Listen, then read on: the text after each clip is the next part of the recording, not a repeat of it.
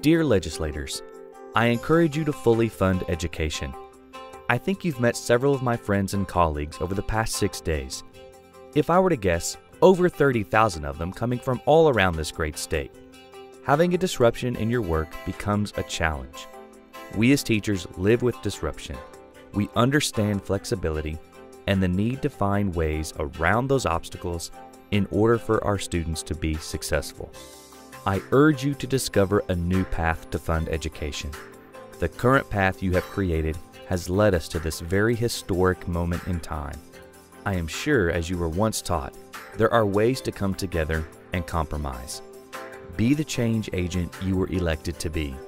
If you are having trouble understanding the obstacles in front of you and structuring a new path for fully funded education in Oklahoma, then we will help remove them for you in November. Fully fund education. The future starts in the classroom.